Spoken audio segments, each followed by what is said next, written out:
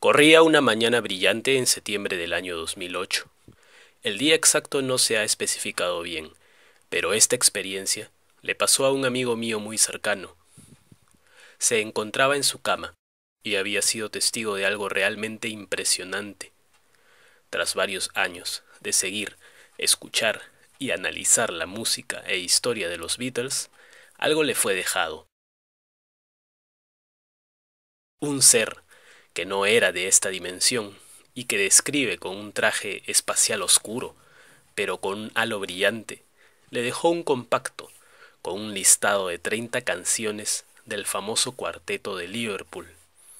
En él se encontraba un mensaje que decía, en el año 3000, estas son las únicas reliquias de un grupo llamado The Beatles. Ellos aún son amados en este año, pero solo nos quedaron estas canciones. El porqué de que solo tengan 30 canciones de The Beatles en el año 3000 no se reveló. ¿Qué pudo haber sucedido? ¿Una catástrofe? ¿Una guerra nuclear? ¿Sabotaje en el mundo de la música? No sé. ¿Y por qué este ser lo dejó en el año 2008? ¿Qué buscaba?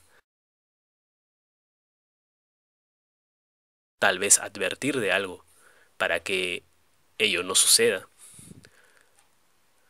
Ahora a continuación te presentaré las 30 canciones que le dejó a mi amigo este extraño, viajero dimensional, tal cual en el orden en que aparecen. Tú opinarás o te lamentarás si tu tema preferido perdurará en el año 3000.